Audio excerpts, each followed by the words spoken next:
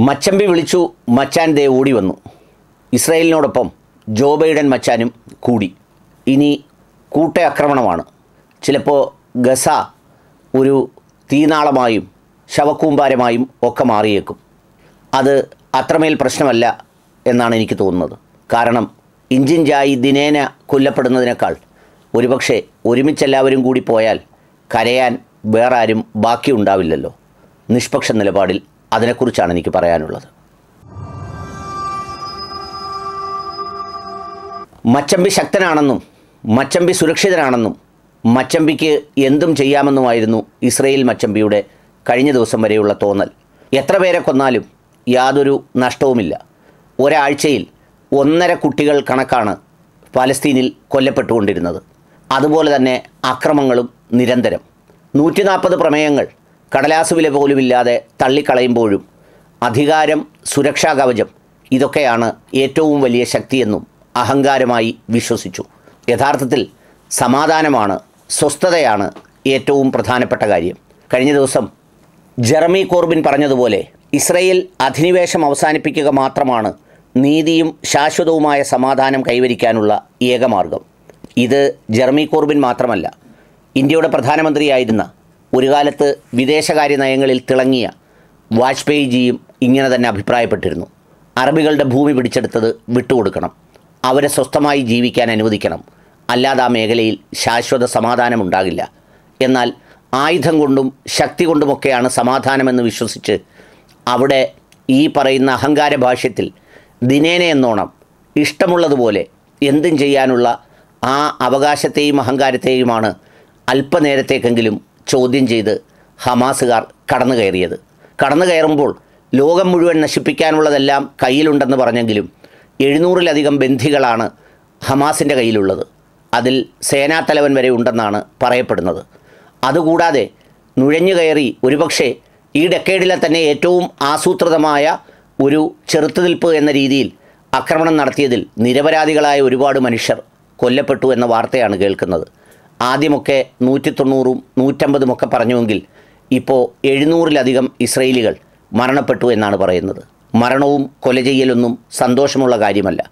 പക്ഷേ അധികാരത്തിന്റെ ഹുങ്കും അധികാരത്തിന്റെ അഹങ്കാരവുമൊക്കെ ഒരു ഭരണകൂടം പേറുമ്പോൾ ചിലപ്പോൾ ഇരയാകേണ്ടി വരുന്നത് സാധാരണക്കാരായ മനുഷ്യരാകുമെന്നുള്ളതാണ് അതിന്റെ മറ്റൊരു വിധി.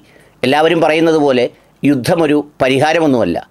എന്നാലും ഇത്തരമൊരു സന്ദർഭത്തിൽ മച്ചമ്പിക്ക് ഒറ്റയ്ക്ക് പിടിച്ചാൽ ചിലപ്പോൾ എത്തുമോ എന്നുള്ളൊരു ആശങ്ക ഈ നൂറ്റാണ്ടിൽ തന്നെ ആദ്യമായി തോന്നിയത് ഇപ്പോഴാണ്. അതുകൊണ്ടാണ് മച്ചാനെ കൂടി വിളിച്ചത്. മച്ചാൻ പോകാനായി റെഡിയായി ഇരുന്നതുമാണ്. മച്ചാൻ ഉക്രൈനിൽ പോയി വലിയ നേട്ടമൊന്നും കൈവരിക്കാനായില്ലെന്ന് മാത്രമല്ല വരച്ച വരയിലും നിർത്തിയ വരയിലും നിർത്തിയെടുത്തുമൊക്കെ പലതും ചെയ്യാൻ ശ്രമിച്ചെങ്കിലും ഒന്നും നടക്കുന്നുമില്ല. ഇലക്ഷൻ ഇങ്ങ് അടുത്തുമെത്തി. അതുകൊണ്ട് തന്നെ മച്ചാനെ സംബന്ധിച്ചിടത്തോളം ഒരു അസ്തിത്വത്തിന്റെ പ്രശ്നം കൂടിയുണ്ട്. അതുകൊണ്ടാണ് ഓർമ്മയില്ലെങ്കിലും ശബ്ദങ്ങളൊക്കെ പതറുമെങ്കിലും ജോബേഡൻ മച്ചാൻ ആ വിളിക്ക് ശ്രദ്ധാപൂർവം കാതുകൊടുത്തത് കരസേനയും വ്യോമസേനയുമൊക്കെ പിന്തുണയുമായി ഇസ്രയേലിന്റെ അടുത്ത് ചെന്നിട്ടുണ്ട്. പ്രതിരോധിക്കാൻ മറുപക്ഷത്ത് ഒന്നുമില്ല. നിമിഷങ്ങളുടെ ഒരായുസിൽ വിധി നൽകിയ പിന്തുണയിൽ നടത്തിയ ഒരാക്രമണത്തിനപ്പുറത്ത് ചിലപ്പോൾ കയ്യിലൊന്നും ബാക്കിയുണ്ടാവുകയുമില്ല ഞാൻ നേരത്തെ സൂചിപ്പിച്ചതുപോലെ ശവക്കൂമ്പാരങ്ങളും അഗ്നികുണ്ഡങ്ങളുമൊക്കെ ഒരുപാട് ബാക്കിയാവുമായിരിക്കും. എന്നാലും ഈ പറയുന്നത് പോലെ എന്നെന്നും ഒരിക്കലും പരിഹരിക്കാനാവാത്ത വിഷയമായി തുടരുന്നതിന് പകരം ഹിരോഷിമയും നാഗസാക്കിയും ഒക്കെ പോലെ വേണമെങ്കിൽ അണുബോംബിട്ടും ചാരക്കൂമ്പാരമാകട്ടെ ആ ചാരക്കൂമ്പാരം ഈ പറഞ്ഞ ഒരു ജനത ഭൂമിയിൽ അഭയം നൽകിയവർക്ക് അനുഭവിച്ച ഒരു ഗുണപാഠമായി എന്നും അവശേഷിക്കട്ടെ.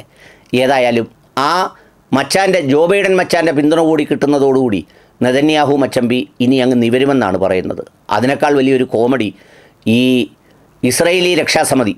അങ്ങനെ പറയുന്നതാകും ഉചിതം. ഐക്യരാഷ്ട്രസഭ രക്ഷാസമിതി എന്ന് പറയുന്നതിനേക്കാൾ എന്ത് ഐക്യമാണ് എന്ത് നീതിയാണ് എന്ത് പിണ്ണാക്കാണുള്ളത്. അതുകൊണ്ട് ഇസ്രയേൽ രക്ഷാസമിതി ഇന്ന് കൂടും. അത് കൂടുന്നതും ഈ പറഞ്ഞ മച്ചമ്പിയുടെ മേൽനോട്ടത്തിലാണ്. അവിടുത്തെ പ്രധാനപ്പെട്ട ഒരാൾ മച്ചാനുമാണ്. അപ്പം മച്ചാനും മച്ചമ്പിയും ഒന്നിക്കുന്നതോടുകൂടി അവിടെയും ഒന്നും നടക്കില്ല. പകൽ മുഴുവൻ അഗ്നിവർഷവും ഇടയ്ക്കിടവേളയിൽ തണുത്ത മുറിയിലിരുന്ന് സമാധാനത്തിന്റെ ആഹ്വാനവും നടത്തി പിരിയാമെന്നല്ലാതെ മറ്റ് കാര്യമൊന്നും ഉണ്ടാകില്ല. എന്നെന്നും അനുഭവിച്ചുകൊണ്ടിരുന്നവർ ഒരുമിച്ച് അനുഭവിക്കേണ്ടി വരും. പക്ഷേ അപ്പോഴും ഈ പറഞ്ഞ ആസനം വരെ തുളച്ചു കയറി അവിടെ വരെ പ്രശ്നമുണ്ടാക്കാൻ അസ്വസ്ഥരായ മനുഷ്യർക്കും മരണത്തിന് ഭയമില്ലാത്ത മനുഷ്യർക്കും കഴിയുമെന്നുള്ള ഒരു ഗുണപാഠം കൂടി മച്ചമ്പിയും മച്ചാനും നന്നായി പഠിക്കുന്നതിനുള്ള ഒരു ഗുണപാഠമായി ഇത് മാറുമെങ്കിൽ കുറേ പേർ മരിച്ചാലും ശാശ്വതമായ ഒരു സമാധാനത്തിന് ചിലപ്പോൾ വഴിതെളിച്ചേക്കും. അവിടെ മാത്രമാണ് പ്രതീക്ഷ. ഏത് രാജ്യത്തായാലും ഏത് ജാതിയിൽപ്പെട്ടവരായാലും നിരപരാധികളുടെ കഷ്ടനഷ്ടങ്ങളും മരണസംഖ്യയും കുറയ്ക്കട്ടെ എന്നാണ് എന്റെ പ്രാർത്ഥന.